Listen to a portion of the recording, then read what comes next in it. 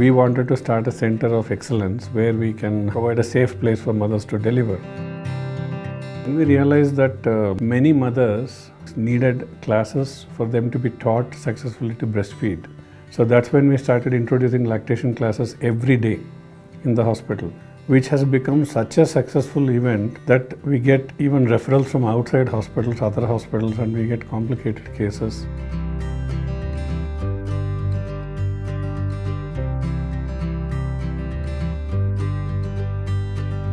We have achieved one of the highest uh, success rates in breastfeeding in the world. So these sort of services, when we saw that it is helping a lot of the people, we felt now that everybody is getting the benefit, it is only fair that we provide these sort of services in government facilities where it is lacking. That is one of the reasons we have started taking this initiative to the government centers.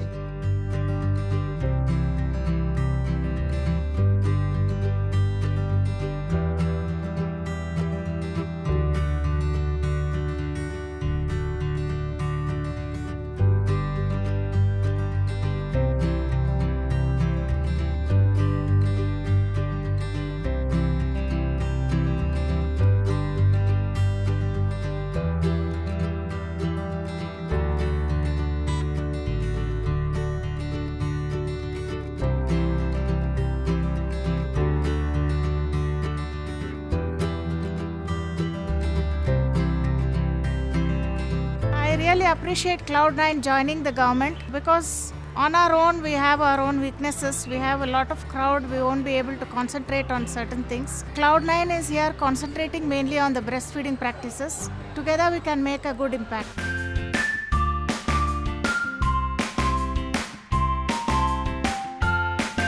The common myth is uh, the colostrum as well as the hind milk, uh, which is stained a bit.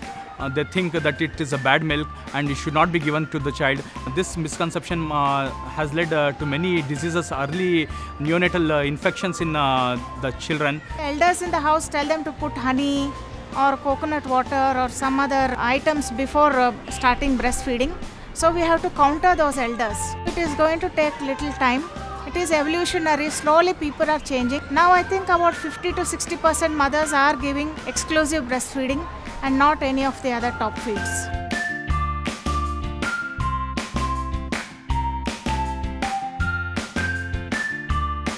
In the last nine years, we have learned that uh, many mothers who have breastfeeding problems may not want to talk about it, especially to the close family or even to the doctor. But with the nurse, they open up. And sometimes they have an inferiority complex. Some mothers think that if they can't breastfeed, they're not normal mothers. So they try to suppress it. In the process, they suffer.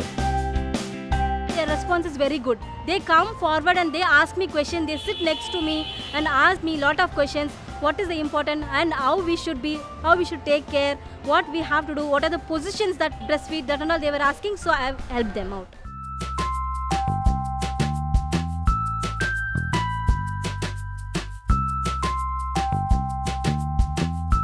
I'm very happy about that. I'm educating the people who don't know about the breastfeeding. To me, being a woman, it means a lot because uh, I identify with every woman that I speak to.